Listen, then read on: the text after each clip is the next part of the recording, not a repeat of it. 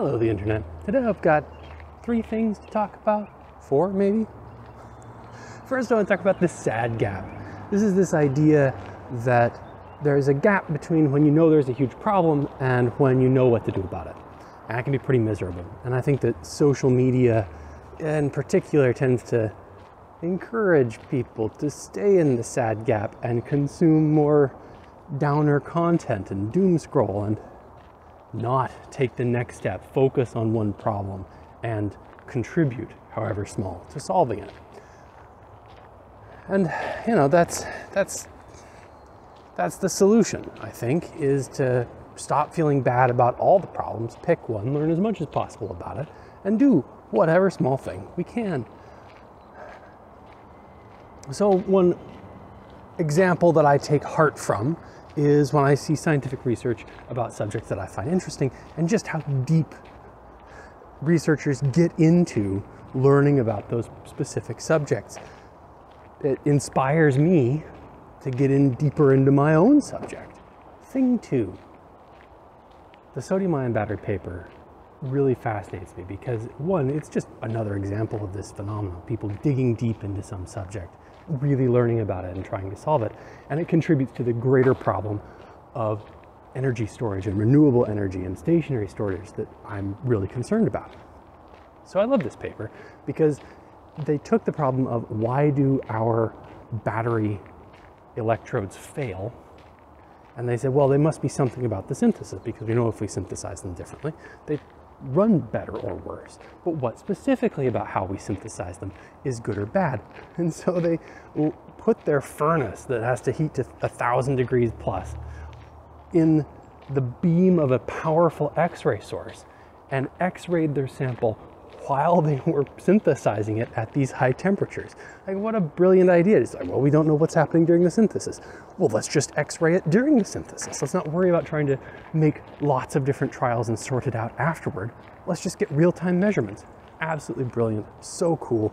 They found that under certain circumstances, they could correlate the features they were seeing in the x-rays with catastrophic failures during charging and discharging. They call them earthquakes, which is great. Uh, electrode quakes, I guess. And, uh, and yeah, that now they have an insight into how they can start to solve them. Sodium ion batteries are a longer term battery solution, but I love it. Here, look at all that pervert seltzer. Yeah, I'm mixing that up. Look, just to be clear, I am sorry to use the term pervert seltzer. Um, that I, I, should not judge. Um, you know, that's not nice. I'm sure that many perverts don't drink White Claw. I'm just kidding. I love this little part of the stream here. I saw a heron catch a fish right in here. I thought it was pretty cool.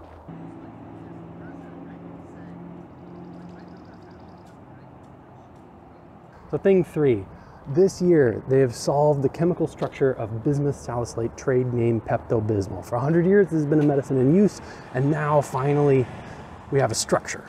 Mechanism, I think, is still kind of unknown, but the structure of the chemical was really hard to solve, and new tools had to be invented to use it. They use electron microscopy to get insights and uh, structural modeling, and they finally have a chemical structure for this. The reason it's so difficult is kind of hard to explain, but I'll try. Imagine that you're making a multi-layer sandwich. You can go peanut butter bread, peanut butter bread, peanut butter bread, and it's layered like that. That's pretty straightforward. But imagine that each layer of bread could be toasted on one side. Now each bread can be toast up or toast down, and that's just random. And that makes this disorder that's really hard to figure out what the average structure is. Because sometimes you'll get a bunch of toast side up layers, and sometimes you get random toast side up, toast side down alternating, and the whole thing averages out to just a mess. So, anyway, I think it's really cool that they've solved it. This was a mystery I didn't even know existed, and now it is solved. And I guess that's what makes me so tickled about these sorts of scientific stories that somebody saw that that rabbit hole went really deep and they kept digging until they found a solution. And that inspires me to keep digging on the projects that I'm working on. And finally, I, I did make a comic this week Uh, so the story is true. Uh, in graduate school, um, I uh, made a fresh pot of coffee, and the little coffee maker alarm went off. Beep beep, told me I needed to go get uh, my coffee pot. And one of the graduate students in, in the office with me said, "What's that beeping?" I said, "Ah, that's my coffee pot. Time for a fresh, fresh batch." And he said, "But isn't that your coffee pot on your desk there?"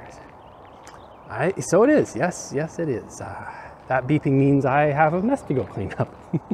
the coffee had overflowed all over the office, and the counter and the floor. It's just a huge mess. But uh, I tried to draw this myself. Um, I used Storyboard That, which is a little software to, to make a storyboard, a little mock-up. And it looks fine. It's kind of generic art. But when I tried to draw it uh, without hiring an actual cartoonist, it didn't go so well. But you know, we try. It's fun. Anyway, thanks for tuning in. I hope you uh, hope you all have a great week, and we will see you next time.